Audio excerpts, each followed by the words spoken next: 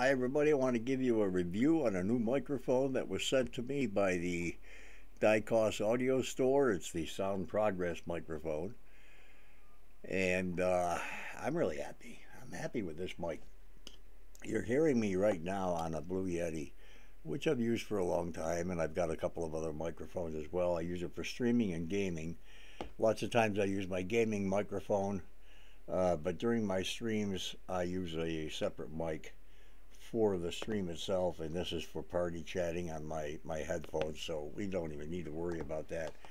But let's bring this mic in. It's an RGB condenser microphone. Uh, it's got five different RGB colors. It's got a one-touch mute, which I really like. You know, it's really nice. And let me bring this mic in. I'll turn this one on. I'll turn the Yeti off.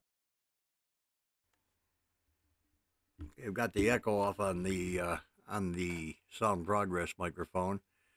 This is it right here that you're hearing. I'll show you what the one-touch mute is. You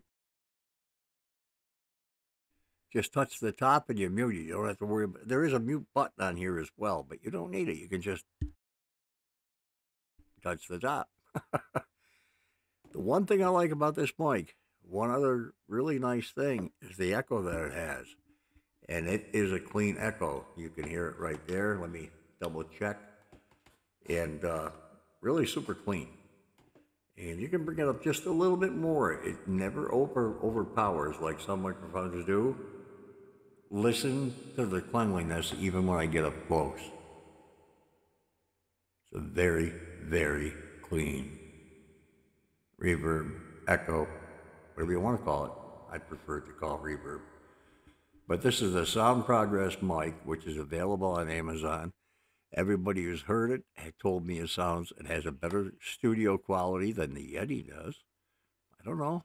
You can hear both. You've heard both. So uh, check it out on Amazon. Give them uh, a view because this is really a really super nice mic. I, I definitely give it five stars for the price that it is. Definitely a great mic. Hey, thanks for watching.